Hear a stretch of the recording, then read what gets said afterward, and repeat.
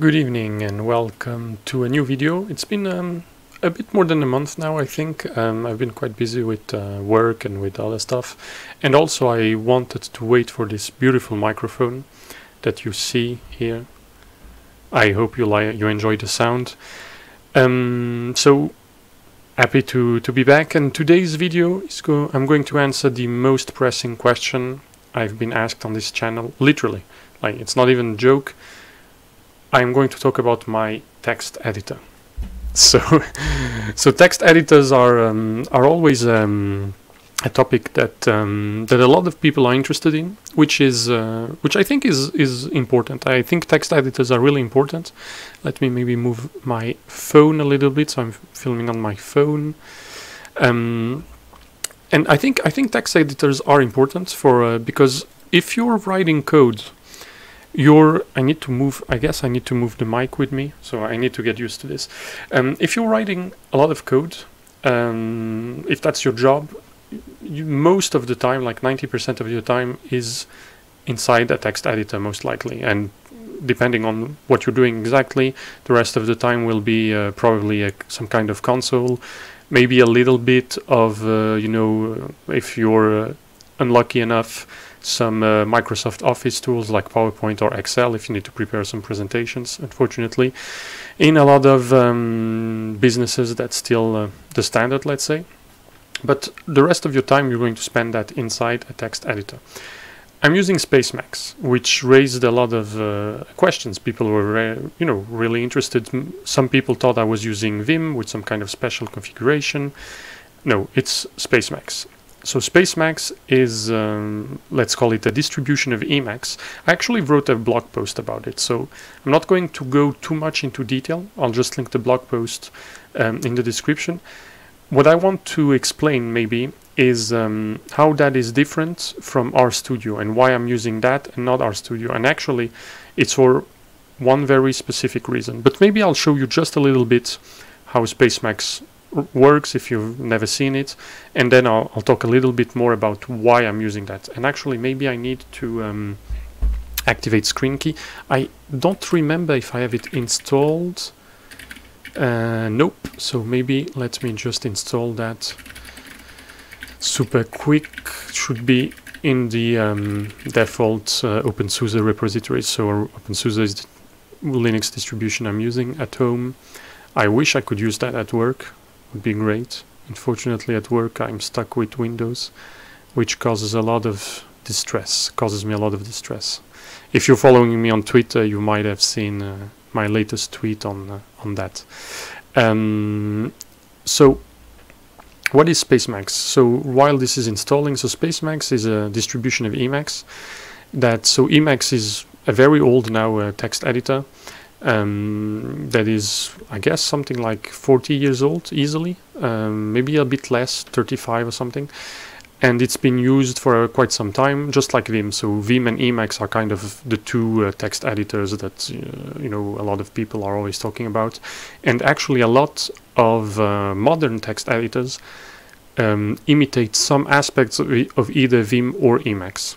Um, studio actually has a Vim mode, so um, uh, and and I think also probably all these other text editors also have some kind of Vim mode. So Vim mode is something that you will find in a lot of modern text editors that, as the name implies, allows you to imitate Vim. Um, and Spacemacs actually is Emacs with some kind of Vim mode, uh, which is called Evil, uh, Evil mode, Evil mode, yeah.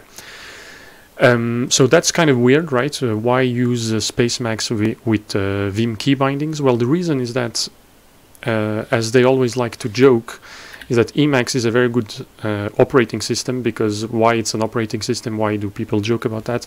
Well, because Emacs has a lot of uh, plugins and a lot of extensions that allow you to do anything, browse the web, send emails, browse your files, copy, delete your files, manage your files um, downloads, files, really anything, uh, almost anything you can think of, you can do from within Emacs. But they, um, you know, people that uh, that don't really enjoy Emacs editing mode say, well, you know, It's a very nice operating system. You can do whatever you want, but um, the text editor sucks.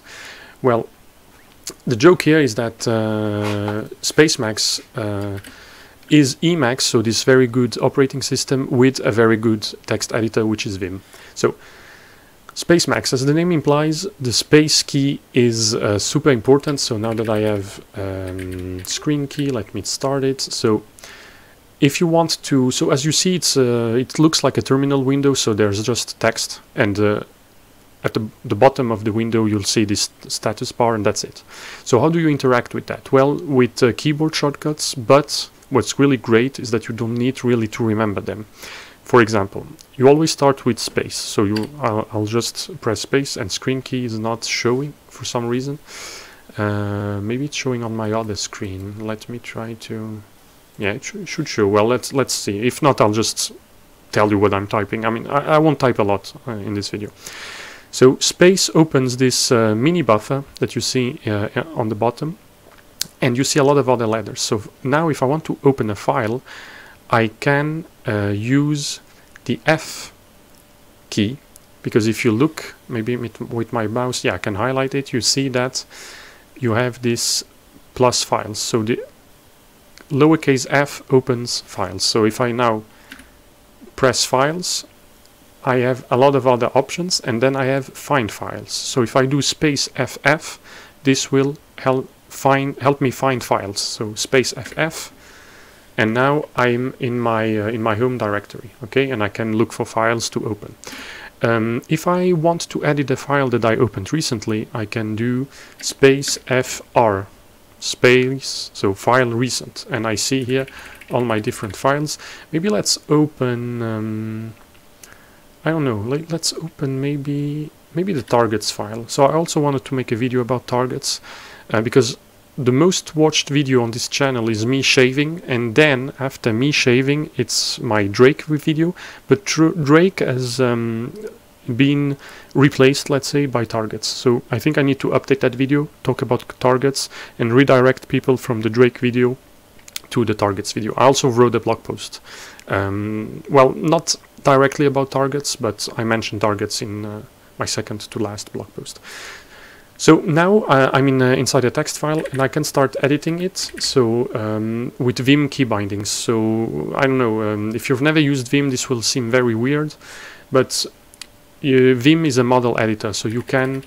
Um, so here, if I'm start typing, I won't type anything. So the keyboard here in this normal mode. So this is normal mode is the all the key uh, strokes that I'm going to use are just to move around the file or delete or you know I, I can select delete and undo things like that. If I want to type I have to go into insert mode which you can go into by pressing I to go into insert. So if you see at the bottom left of my uh, of my Emacs uh, Emacs window you see now that I am in insert mode. So I can start typing hello I am typing. Uh, if I press S escape, I will go back to normal mode, meaning that, for example, if I press delete D twice, DD, this will delete the line and I can now, uh, if I want to add a line uh, to separate, you know, these two lines here, and I also, you know, can move around with my keyboard, I don't need to use a mouse. If I want to add a line, I can press O, and O adds a line below. So this this is basic Vim stuff. Okay, so if if you know Vim, you you'll feel right at home uh, using using Spacemacs because it it's just Vim Vim stuff. Uh, you can enter com command mode, for example, WA, which uh, saves all your files. Write all. Um, there's a lot of things that you can do. Um, if I want to um, for example, delete of all these lines, I can I can enter um, I, visual mode. Visual mode is to select stuff. So visual mode, I enter visual mode, and then if I press uh, closing curly closing curly brace, I just select the whole paragraph, and then if I press D once, I delete the whole thing. You know, so this is basic Vim stuff. If you know how, to, or if you don't know how to use Vim, I really recommend uh, that you learn Vim. I, it's probably one of the best uh, computing decisions I, I have um, I have took is learning Vim. And I'm not really um, a huge Vim expert. So sometimes I watch some vi YouTube videos about you know some some Vim advanced Vim tricks and things like that. And the things I see, I have I cannot I, like I think I could do them if I would really stop and think about what I was doing, but it would wouldn't come naturally to me. Whereas even with basic and intermediary Vim things, Vim tricks, you can do a lot of stuff. So if you if you know like the ba basic commands and if you know macros, macros are super important and super useful. Um, you, can do so many things with Vim. It's it's it's really the best best I think the best text editor. But why I'm not why I am not using pure Vim then? You know, I, instead of using Spacemacs, why Spacemacs? Spacemacs because it's based on Emacs can use all the um, Emacs plugins. And Emacs plugins, as I said before, are really good. In uh, Vim, uh, sorry, in Spacemacs, uh, you so if I want to edit my dot file, so the dot file is the configuration file. Um, it's like a generic name that you have in uh, Linux systems, and I guess also in Mac systems. For software, you have these dot files that you can change with options. So if I want to edit the um, if I want to edit my dot file, I, I, have a keyboard shortcut, so space fed, so which is a standard find and edit dot file, basically, space find edit dot, dot file, which um, opens my dot file, and the dot file here, what you see here, those are the layouts, uh, sorry, the layers that I want to use. So a layer is a Emacs plugin with some basic pre-configuration stuff. And actually, if you look at what I'm showing you, if you know Spacemacs, what I'm showing you is quite boring because I didn't do much. I just installed Spacemacs. I just changed the team to Solarized Dark, so by default it's another team. I think I think if I do space T or wait, I don't remember, maybe space capital T. Wait a second. Is it capital T? Yeah, capital T and then I guess uh, S for find yeah and I go with space my that's the that's the default theme so this is the default theme so I changed to solarized.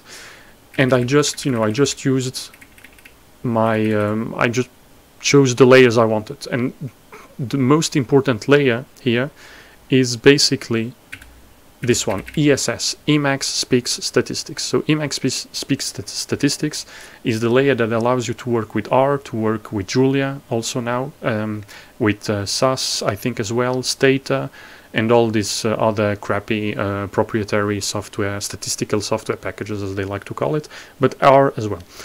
So um, the problem with uh, ESS is, well, I haven't checked in a long time, so maybe what I'm going to say is not entirely true now, but when I last reconfigured my Spacemacs uh, installation, it didn't, ESS doesn't really support RMD files. So you have to use this additional package that you see here, which is polymode, um, and this you can find on a GitHub repo. Um, someone built this um, package, which allows you to use, or, or let's say that makes it easier to work with RMD files in Spacemacs. So for the for the end user, at the end of the, the day, it's going to be very transparent. But basically, the problem that uh, Spacemacs has by default is that uh, our RMD file is a file where you have Markdown and you have um, HTML, even potentially. You could write HTML, even LaTeX, and uh, you can write, of course, um, you can write, of course. Let me just adjust the mic. Uh, R code. So uh, by default, by default, uh, Spacemacs would go a little bit crazy. With uh, my mic is starting to fall. Oh crap! Right when I'm filming, of course. Maybe I will need to edit this out. And I don't like editing my videos, so I probably won't do it. You'll probably have to watch me readjust the mic.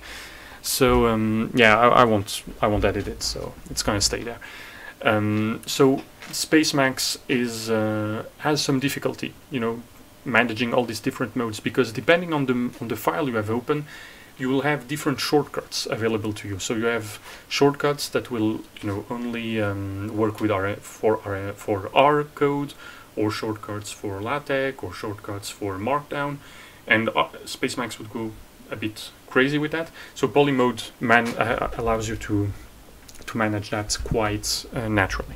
So it's a, god damn it, I need to find, sorry, I hope that um, I'll find something comfortable. It's not quite there yet. So this polymode allows you to, to work with, um, with, uh, with Markdown. So then that's almost it. Uh, I just, you know, just uh, changed. So this is where you, you say that you want Vim mode. You could use Emacs key bindings, but honestly, what's the point? Uh, just use Emacs, I would say. Um, so this is where I said that I wanted Solarized Dark first. My fonts, and Ubuntu font. You can change the leader key, but just keep it to at Spacemacs. And the only thing I did, the only thing I added is some keyboard shortcuts to run. Where is it now? Yeah, so this is some stuff that I also added. I think you can find in the uh, on the repository of uh, Polymode. So, uh, ah, yeah, this thing. So these are new keyboard shortcuts that I added to. Um, so if if I'm to, to, to execute these commands, so these are ESS commands. So you have ESS test package, eval line, eval region. So evaluate the line, evaluate the region. So run the R code or or, or run the re, or run the R line or the R or how can I say that? Run the region that contains this R code, this chunk of R code. Um, build the package, document the package, load the package, check the package. So this is when I'm developing a package. So I, I, I do space mdt, so space m uh, DevTools test, uh, space m run line, space m run region, space uh, DevTools build, space uh, DevTools document, etc. And then the other thing I added is space mm, and this adds the um, the magrittr pipe. That's it. Like that's my configuration. It's nothing fancy. Um, that that's literally all there is to it. So it it looks super, you know, it looks super impressive. It looks like I'm some kind of uh, elite hacker, but it's not. It's no. I just use Spacemacs, and what's really great with Spacemacs is um, that all these layers. there's there's all sorts of them. So I don't use a lot of them but they're all great. They're all great. And now we're coming to um, the final point. Why am I using that? Because I could use RStudio because RStudio supports R, supports LaTeX, supports uh, Python, supports um, RMD, of course, uh, has uh, all manners of keyboard shortcuts as well, it has a Vim mode, so why am I not using RStudio? There is one reason, very important to me, which is this thing, the keyboard layout. So I am not using the QWERTY layout, which is the standard uh, American layout. I am not using the um, the standard French layout, which is AZERTY. I am not using the standard, uh, well, in Luxembourg used, in Luxembourg the, the, standard layout we use is Swiss German or Swiss French because just like the Swiss, we write a lot of French and we write a lot of German, so we use the same keyboard layout, and that's not what I'm using, I'm using the Bepo layout. The Bepo layout is a layout that is optimized for French, but works really well for English as well, and for German and other European languages. And it's kind of the uh, French Dvorak layout. So if you don't know what Dvorak is, Dvorak is simply an optimized layout for typing on a computer. Because you have to know that uh, the uh, standard QWERTY layout is not optimized to uh, type on a computer. It's actually literally the opposite. So I also wrote a blog post about that that I will also link in the description if you want to go into more details. Long story short, RStudio, at least last time I checked, maybe it changed, maybe, but last time I checked, RStudio did not support changing the layout, or rather did not support importing a new Vim layout that is optimized to another keyboard, which is what I'm using. So if you look at my uh, dot file over here, you see that I'm using the Bepo um, keyboard layout and um, this basically means that Vim gets optimized for this Bepo layout. So for example, if you know Vim, you, you know that uh, one, you know, important key is something like change inside something. So for example, if I want to delete everything that is inside this parenthesis in a, standard uh, Vim, let's say you could type CI parenthesis, change in parenthesis. But the C over here uh, in the Bepo layout would be to go on the uh, left. So here the uh, C has been replaced with L. So if I type L in parentheses, it removes everything that is inside the parentheses and puts me in insert mode. So I can also then uh, just undo. And you know I could do. Uh, you can then also change in word. So uh, L E W, change. You know, it erases the word and um, it uh, puts you in insert mode. So this is again basic Vim stuff, but doesn't wouldn't work like that in RStudio, which means that whenever I would be using RStudio, I would need to change my, uh, let's say, mental model of how I would use uh, Vim, and I would need to uh, know and use the standard QWERTY Vim key bindings, which I don't want. So now you have it. Now you know what is my editor? It's Spacemacs. It's not uh, an optimized version of Vim. It's actually an optimized version of Emacs. I use the ESS layout, which does all of the heavy lifting. I only only configured some keyboard shortcuts. That's it.